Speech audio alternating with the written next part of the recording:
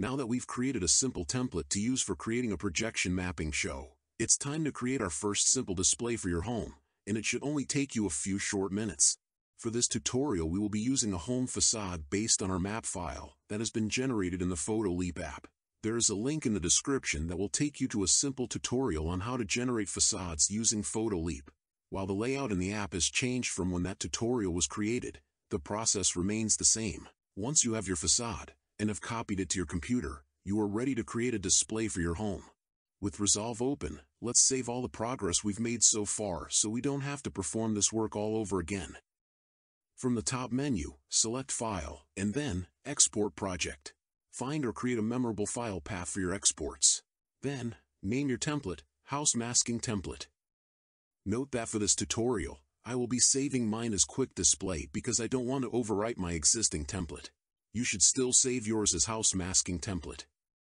Next, choose File, then select Project Manager from the menu. With the Project Manager open, right-click anywhere and select Import Project. Select the project file you just exported. Then rename your project to something descriptive of your display. Once available, open your project. You can see we have an exact duplicate of the previous template we were working on. But any changes we make here will not affect our original project. For this display, I'll be creating a gingerbread theme using the newest AtmosFX digital decoration, in addition to my PhotoLeap generated facade. Altogether, the videos in the collection that I intend to use total up to about 9 minutes. So let's extend our timeline way out. We can always trim off the excess later.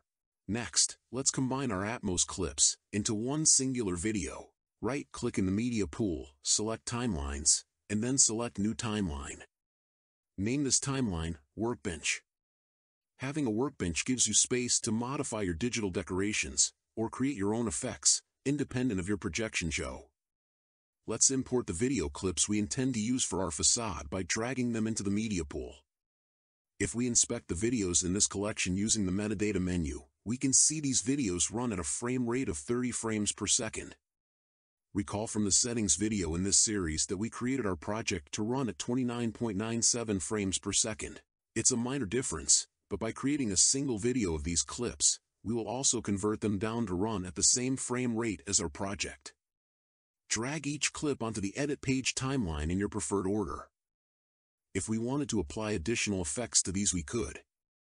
But for the purposes of keeping this simple, we will just export these as is. Click on the Deliver tab located here.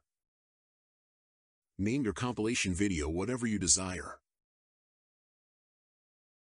Select the file path location to store your video.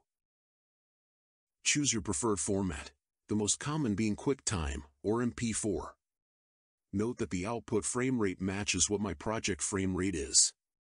There are plenty of advanced options we can configure, but for our purposes they aren't really needed at this moment.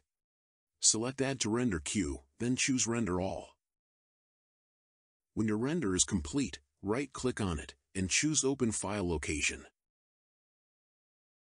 Head back to the Edit page, then, import your compilation video into the media pool. Using this drop arrow here, select the house mask timeline to return to your planned projection show. Let's add the audio from the combined version onto this timeline. Simply double-click that file in the media pool. Hover your mouse over this icon, then click and drag down to your audio track and bring that all the way to the left of the timeline. Move your playhead to the end of the audio track, then drag the end of your video track to the left, in order to line it up. This will remove the excess we don't need. Now, let's open our house mask in Fusion. Here we have the Fusion tree we built in the previous video. We will be adding both the facade and the video to this upper limb of the tree, so let's move the background node over a bit to give us some space. Select your PhotoLeap AI generated facade from the media pool and drag it down onto the node's pane. Select the background node that anchors the tree limb, and then add a merge node from the toolbar. Now connect your media node to the merge node.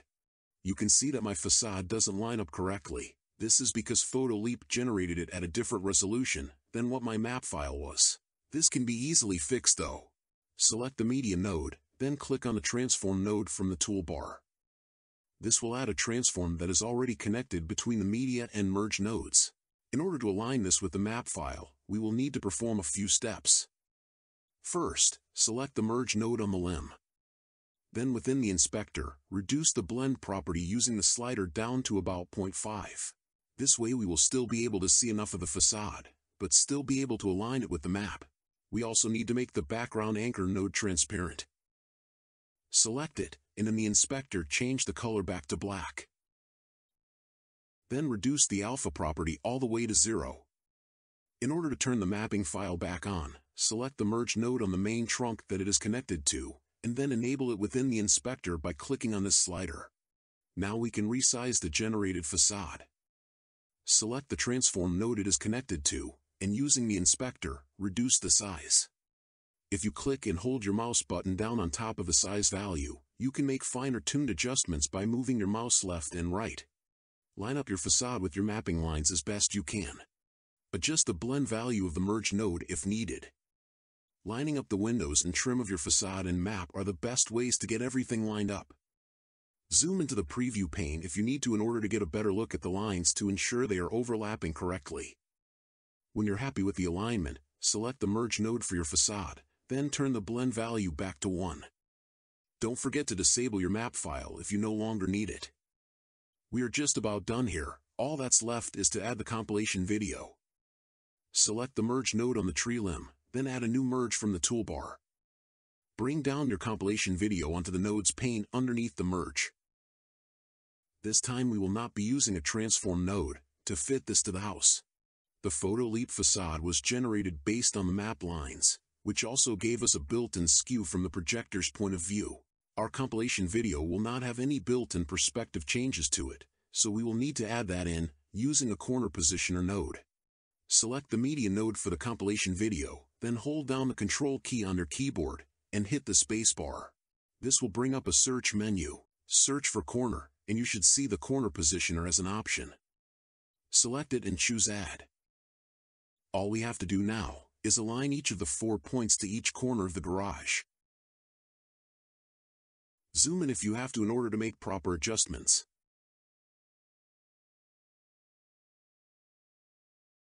If you don't have a wide garage like this one, you can do the following to get yours to fit. With the media node selected, open the search menu with Ctrl plus C. Search for crop and select it.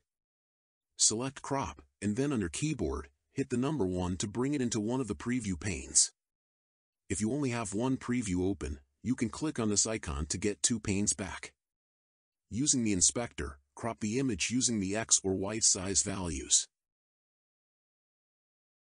If it's easier for you, just make it a square by changing entering the same number for the X and Y values.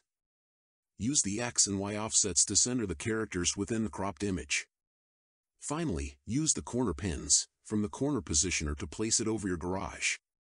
You will probably have to make further adjustments to the crop and corner pin nodes to get the perfect fit. In future tutorials, we will be covering how to create a perspective filter for your home that will eliminate the need for this. If you want to get something displayed quickly though, this will work in a pinch. If your garage door has a unique shape that you need to mask, use the polygon node from the tool menu and create a mask in the shape of your garage door. Then connect it to the blue arrow of the merge node that your video is connected to. Of course, this looks awful, but you get the idea. Once you feel you've aligned everything correctly, return to the edit page and scrub through the timeline to ensure both the video and audio are aligning correctly.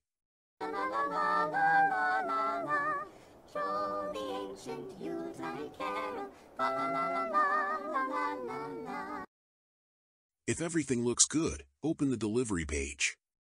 Change the name of your file, then render it out into a format that your media player will be able to handle. This is probably the easiest display I could show you how to build. Altogether, including render times, this took about 10 minutes to put together, thanks to the AI-generated facade taking care of a lot of the decorating and details for us. That said, there is a lot more to learn if we want to tackle more advanced, theme shows down the road. So I'd encourage you to subscribe to this channel and follow along during the off-season, for more tutorials on how you can use Resolve to build your own home projection shows.